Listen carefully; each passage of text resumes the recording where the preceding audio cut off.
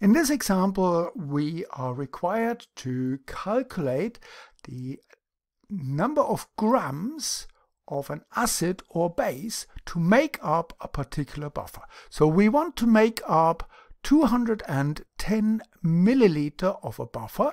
The buffer should have a pH of 12.14 and the total concentration of the buffer should be 393.8 millimolar. We know that the pKa of the acid is 11.75 and we've got the molecular mass for the acid and the base. And the question is how many grams of acid and base do we need to weigh in for this buffer? And this is a very typical problem that we encounter every day in the laboratories. So how are we going to calculate these grams that we need. First of all, we note that the pH of our buffer is larger than the pKa. So we can write the pH is larger than the pKa of the buffer and this means that we need more base. More base is required than acid to get this buffer. And that is a very good starting point. So we can then later on check our result and see whether uh, this makes sense, what we've calculated. So in the first step, what we do is we calculate the ratio of acid to base. Ratio acid to base. And to do so, we use our Henderson-Hasselbalch equation. So pH equals pKa minus log of the acid concentration over the base concentration. And we are always working with log to the base of 10. So what we can do in order to get this ratio of acid base, we bring the log to the left hand side, the pH to the right hand side, and we get log of acid to base.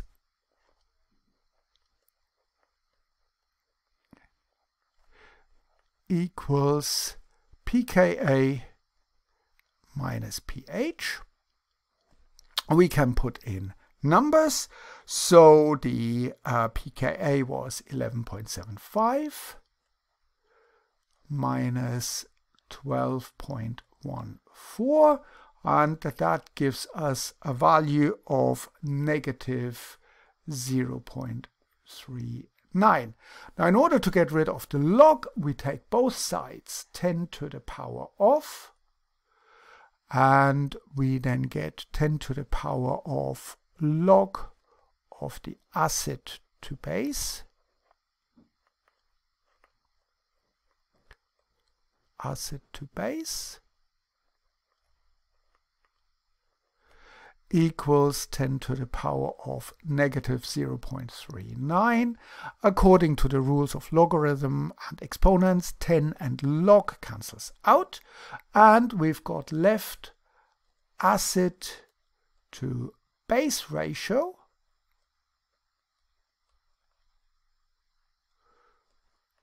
equals 10 to the power of 0.39 and when we put that into a calculator we would get 0.4074 something like that.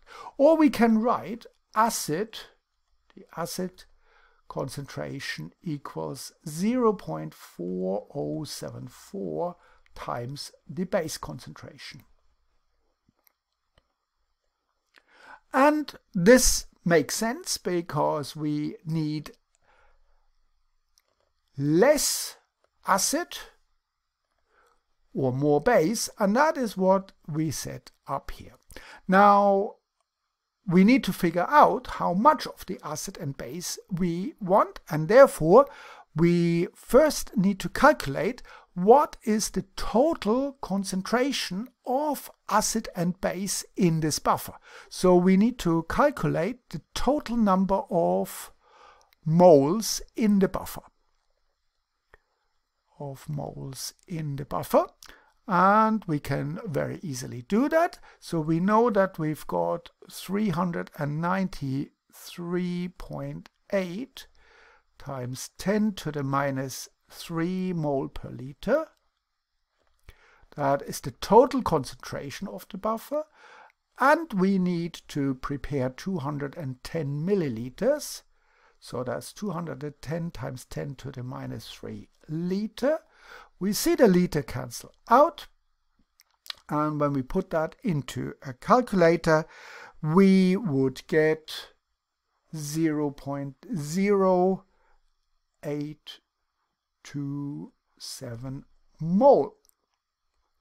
So what we can say is that acid, the, the mole number of moles, mole acid plus the moles base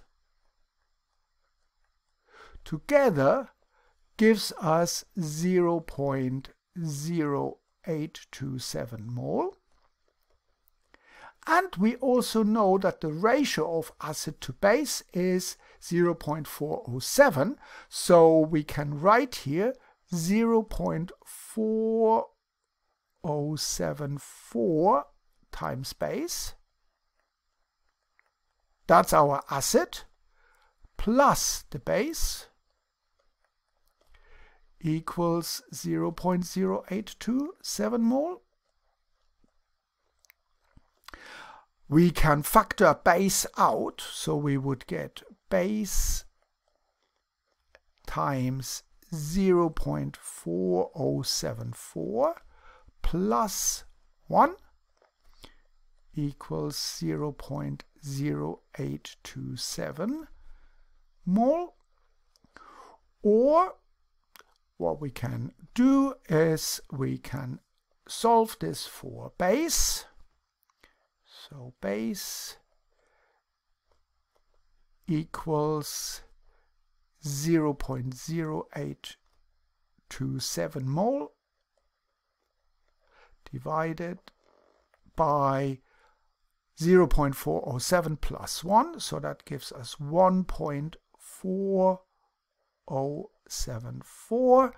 And if we put that into a calculator, we would get 0.05876 mole. So that's the number of moles for the base. Now we can use the molecular mass of the base and calculate how many grams would this be. So in order to find the grams, we would use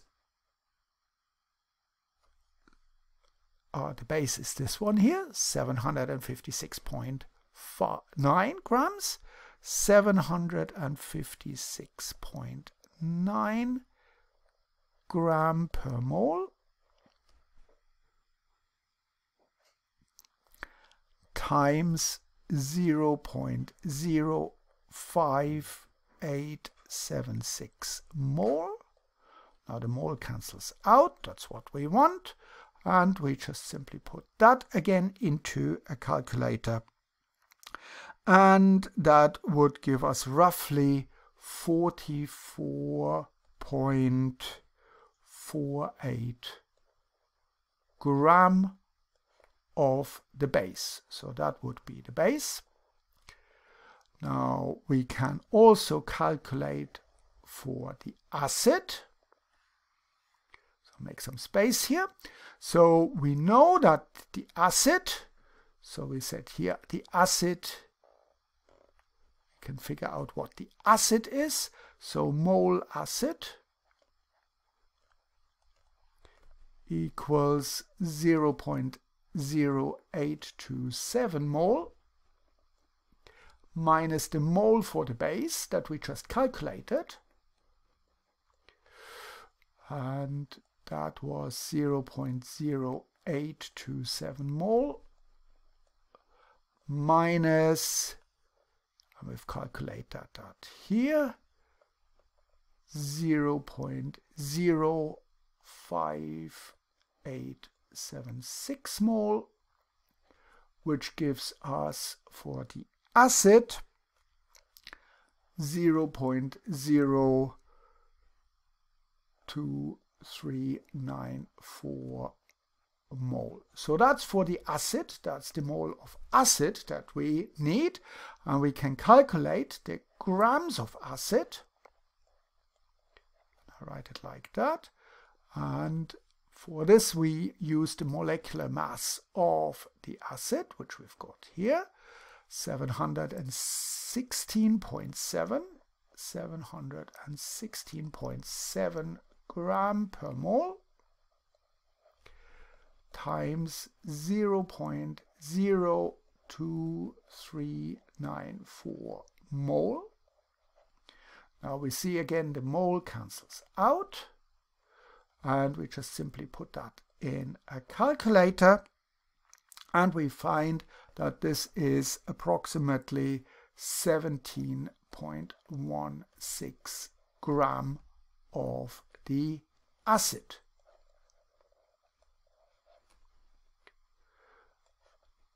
And again, a quick reality check. Here we've got our mole for the base. Here we've got our mole for the acid. And we see that we need uh, two and a half times more of the base than we need for the acid. And that is quite nicely in line with our prediction that we made up here where we said we need more base for the calculation. So I hope this makes sense and thank you very much for watching.